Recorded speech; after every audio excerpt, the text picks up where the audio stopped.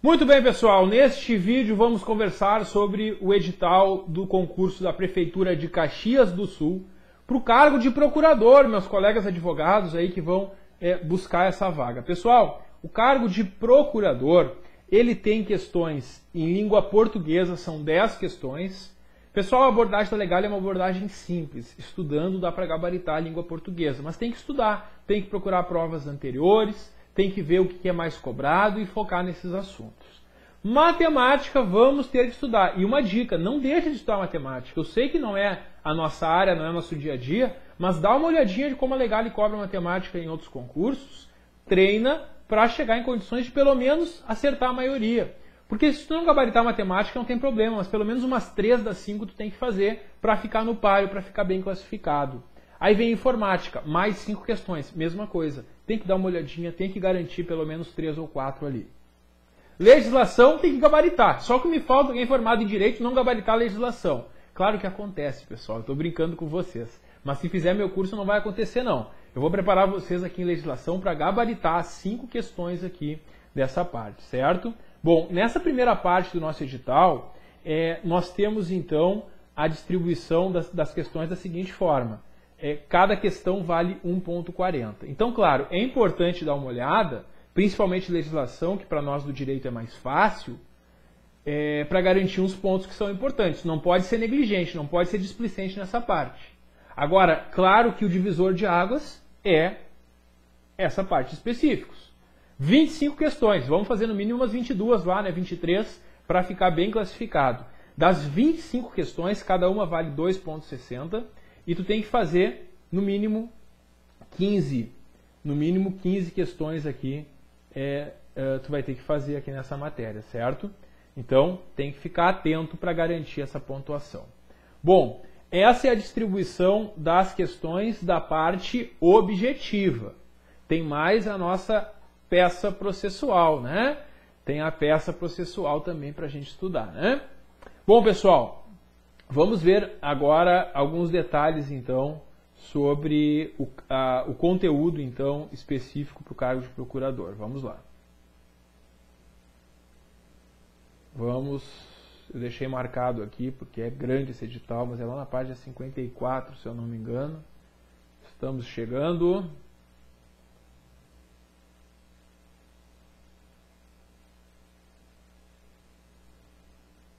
E aqui estamos. Conteúdo para procurador. Vamos lá, pessoal. Conteúdo para procurador no concurso da Prefeitura de Caxias do Sul.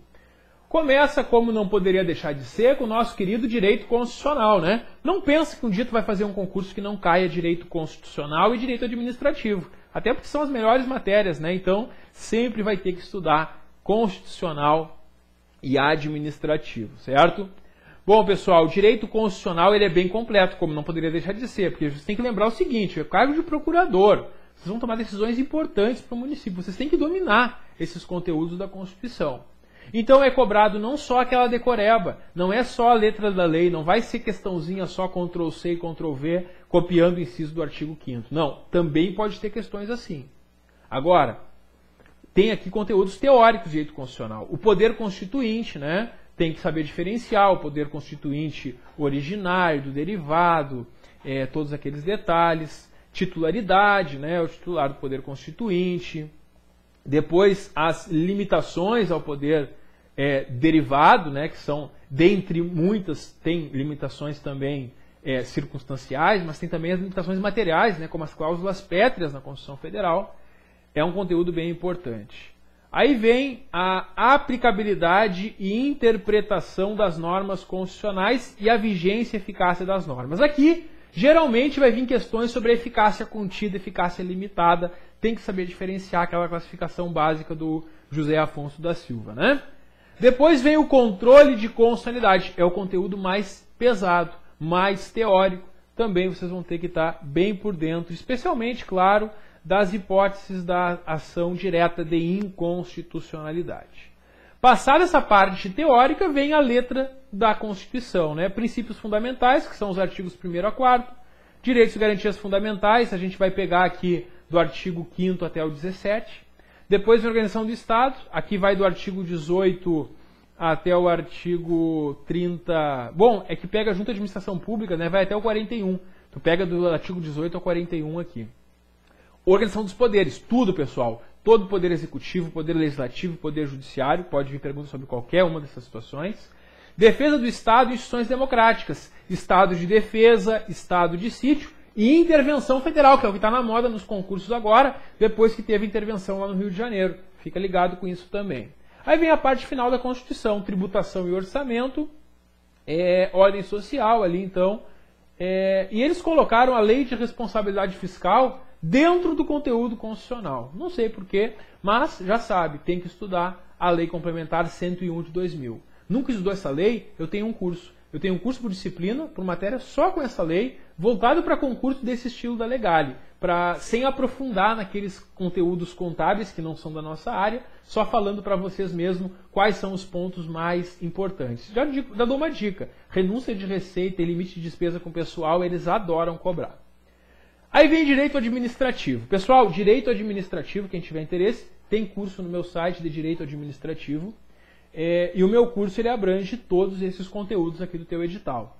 É, então nós temos lá curso que abrange o conceito do direito administrativo, as fontes do direito, interpretação, sistema administração pública, poderes, atos administrativos, muito importante, porque é um conteúdo que tem muitas classificações. Os contratos administrativos de licitação, eles não estão no meu curso de direito administrativo, mas eu tenho um curso de licitações em contratos que eu abordo junto com as licitações dos contratos também. Serviços públicos, a lei dos serviços públicos, das concessões e também a lei das PPPs, é importante dar uma olhada. Servidores públicos, as regras são da Constituição Federal e também o que tu já sabe do Estatuto de Caxias, que está na parte de legislação. Aí nós temos ainda a improbidade administrativa, a Lei 8429, que também está na parte de legislação. Bens públicos, classificação dos bens, né? Bens dominiais, bens é, é, bem de uso comum do povo, bem de uso especial, essas classificações todas também a gente trabalha. E responsabilidade civil da administração, responsabilidade do Estado, né, responsabilidade, extracontratual, e o controle da administração, as formas de controle, controle administrativo, controle judicial, controle interno, controle externo, essas classificações todas também. Quem quiser estudar direito administrativo, a gente tem curso então completo sobre esses assuntos, com uma abordagem adequada pra, para o edital de vocês aqui da Banca Legal. Pessoal, depois nós temos direito civil. Aí no direito civil, claro, vem a lei de introduções às normas do direito brasileiro, e para os mais velhos como eu, é aquela que a gente chamava de LIC, né? que era a lei de introdução ao Código Civil, né? que agora é a lei de introdução às normas do direito brasileiro. E aí o direito civil está bem pesado, né? Vem tudo ali, né? Vem aquela parte inicial de pessoas, domicílio, bens, fatos, negócio jurídico, prescrição e decadência, e ainda na prova, a parte especial, ainda trazendo direitos de obrigação, contratos e responsabilidade civil. Uma dica para vocês. Primeiro, não deixa de estudar as pessoas, que é fácil, é a parte inicial, e há poucos anos teve alteração, lembram? Porque mudou aquela parte dos absolutamente e dos relativamente incapazes. Agora, só é absolutamente incapaz o menor de 16. Cuidado que antes tinham outros, né? E as bancas estão cobrando justamente isso. Fica atento com esse detalhe. Pessoal, domicílio é fácil demais, né? Domicílio tem que estudar, é muito fácil. As questões sobre domicílio são muito fáceis, então dá uma lida no Código Civil sobre domicílio e também sobre é, os bens. Bens também é fácil, o que cai em prova geralmente, certo? Bom, depois vem a parte do direito processual civil, claro, com base no novo CPC. E eu não tenho um curso sobre todo o novo CPC. Mas para quem está desatualizado, quem não estuda a tempo, eu tenho um curso sobre os primeiros artigos. Acho que são os primeiros 46 artigos que eu comento artigo por artigo com questões, voltado também para concurso. Está disponível no meu site quem tiver interesse. Aí vem o direito do trabalho. Pessoal, o direito do trabalho, bem simples. Direitos constitucionais dos trabalhadores, principalmente o artigo 7 Depois, normas gerais do, do trabalho, identificação profissional, isso a gente tem na CLT, a questão da carteira do trabalho. Duração do trabalho, regras sobre jornada, eh, questão de hora extra, questão de banco de horas, tudo isso é importante aqui na duração do trabalho, limites de jornada, intervalo, intervalo interjornada, intervalo intrajornada, tudo isso tem que saber. Salário mínimo eles colocaram aqui, mas geralmente não cai. A parte da CLT sobre salário mínimo é totalmente defasada e tem lá na, na, no artigo 7 inciso 4, uh, a garantia do salário mínimo, né? Mas pouco, pouco provável que cobrem algo sobre isso.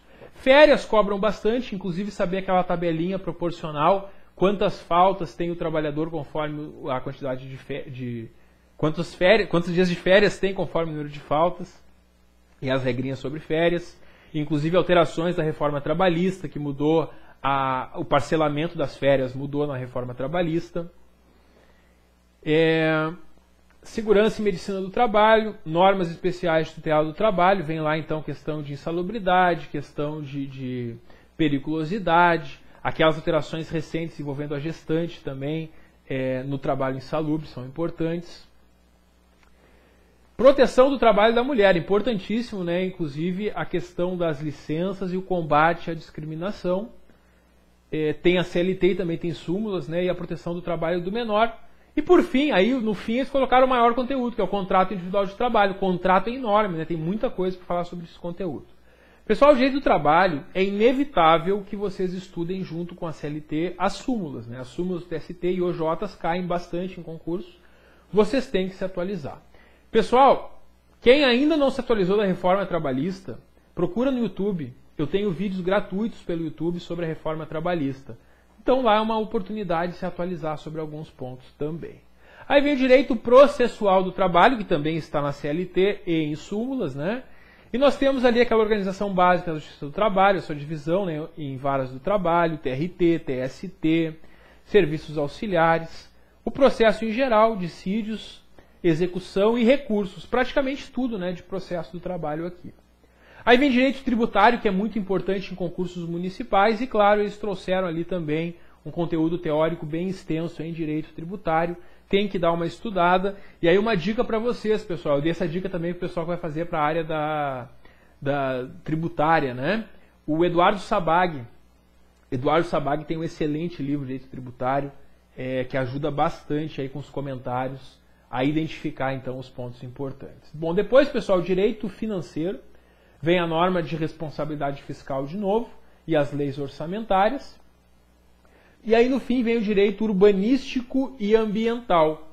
Para concursos de município, eles costumam cobrar né, direito urbanístico e ambiental. E aí tem ali regras sobre planejamento urbanístico, loteamento, parcelamentos, tudo mais. Lá no fim, pessoal, eles colocaram ainda uh, o Código de Ética Profissional da OAB, né?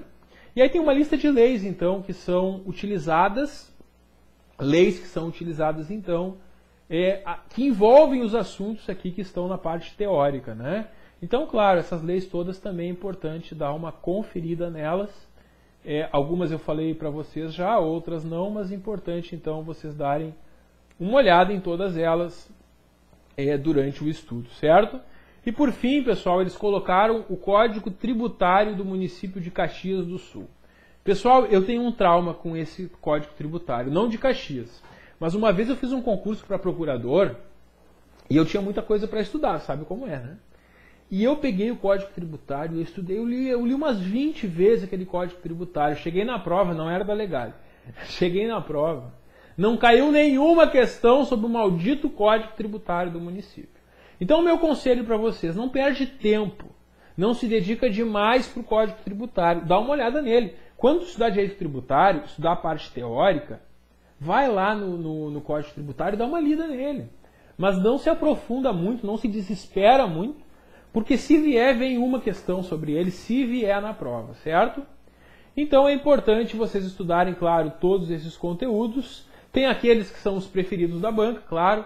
Direito administrativo e constitucional é certo que vão consumir a maior parte, é o foco principal. Mas também, claro, os demais conteúdos, certo?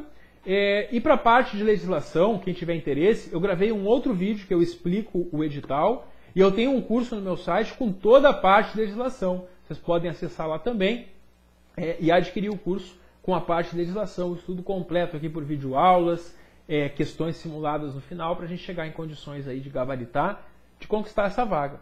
E qualquer dúvida que vocês tenham, pode me chamar aí, pode me mandar um e-mail, gustavofregapanha.gmail.com, que eu vou ter o maior prazer em ajudar vocês, certo?